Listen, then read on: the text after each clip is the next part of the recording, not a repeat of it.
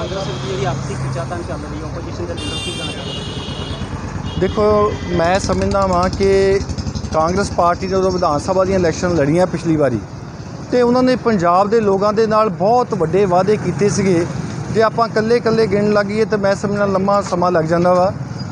ਉਹਨਾਂ ਵਾਅਦਿਆਂ ਵਿੱਚੋਂ ਇੱਕ ਵੀ ਵਾਅਦਾ ਜਿਹੜਾ 4.5 ਸਾਲ ਤੋਂ ਜ਼ਿਆਦਾ ਸਮਾਂ ਹੋ ਚੱਲਾ ਵਾ ਸਰਕਾਰ ਬਣੀ ਨੂੰ, ਇੱਕ ਵੀ ਵਾਅਦਾ ਪੂਰਾ ਨਹੀਂ ਹੋਇਆ।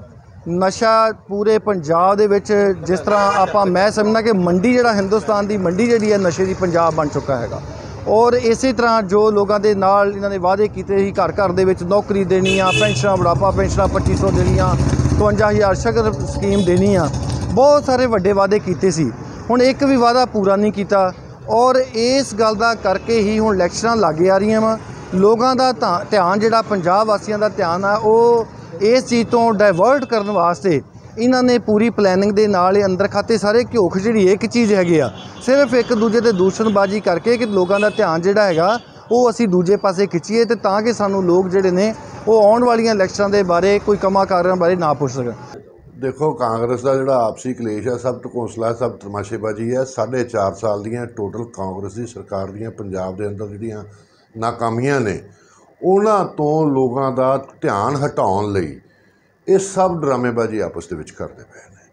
ਪੂਰੀ ਕੌਮ ਦਾ ਧਿਆਨ ਜਿਹੜਾ ਪਹਿਲਾਂ ਇਹਨਾਂ ਨੇ ਕਿਸਾਨਾਂ ਦੇ ਨਾਂ ਦੇ ਉੱਤੇ ਪੰਜਾਬ ਨੂੰ ਪੂਰੇ ਦਾ ਪੂਰਾ ਆਤੰਕਵਾਦ ਵਾਲੇ ਪਾਸੇ ਡਿਸਟਰਬ ਕਰਨ ਦੀ ਕੋਸ਼ਿਸ਼ ਕੀਤੀ। ਅੱਜ ਅਸਲੀ ਕਿਸਾਨ ਜਿਹੜਾ ਪੰਜਾਬ ਦਾ ਹੈਗਾ, ਉਹ ਪੰਜਾਬ ਦੇ ਆਪਣੇ ਖੇਤਾਂ ਦੇ ਵਿੱਚ ਖੇਤੀ ਕਰ ਰਿਹਾ। ਲੋਕਾਂ ਦਾ ਕੋਈ ਧਿਆਨ, ਕੋਈ ਰੁਚੀ ਉਸ ਪਾਸੇ ਨਹੀਂ ਹੈਗੀ। ਇਹਨਾਂ ਨੇ ਹੁਣ ਆਪਣਾ ਤਮਾਸ਼ਾ ਆਰੰਭ ਕਰ ਲਿਆ। ਇਹ ਸਭ ਤਮਾਸ਼ਬੀਨੀਆਂ ਸਾਢੇ ਚਾਰ ਸਾਲ ਪਹਿਲਾਂ ਜੋ ਕੈਪਟਨ ਅਮਰਿੰਦਰ ਸਿੰਘ ਨੇ ਤਲਵੰਡੀ ਸਾਬੋ ਦੇ ਵਿੱਚ ਸਟੇਜ ਤੇ ਖੜੇ ਹੋ ਕੇ ਹੱਥ ਵਿੱਚ ਗੁਟਕਾ ਸਾਹਿਬ ਫੜ ਕੇ, ਇਹ ਮੈਂ ਨਹੀਂ ਕਹਿ ਰਿਹਾ ਸਰਦਾਰ ਪ੍ਰਤਾਪ ਸਿੰਘ ਬਾਜਵਾ ਉਸ ਵੇਲੇ ਮੰਚ ਤੇ ਮੌਜੂਦ ਸਨ। ਇਹ ਉਹਨਾਂ ਦੀ ਸਟੇਟਮੈਂਟ ਅੱਜ ਤੋਂ 3 ਮਹੀਨੇ ਪਹਿਲਾਂ ਦੀ ਇੰਟਰਵਿਊ ਸੁਣ ਲਓ। ਉਹਦੇ 'ਚ ਕਹਿ ਰਿਹਾ ਕਿ ਕੈਪਟਨ ਅਮਰਿੰਦਰ ਸਿੰਘ ਨੇ ਹੱਥ 'ਚ ਗੁਟਕਾ ਫੜ ਕੇ ਮੇਰੇ ਸਾਹਮਣੇ ਗੁਟਕਾ ਸਾਹਿਬ ਫੜ ਕੇ ਇਹ ਗੱਲ ਕਹੀ ਸੀ। ਕਿ ਮੈਂ 4 ਹਫ਼ਤੇ 'ਚ ਪੰਜਾਬ 'ਚ ਨਸ਼ਾ ਖਤਮ ਕਰ ਦਿਆਂਗਾ।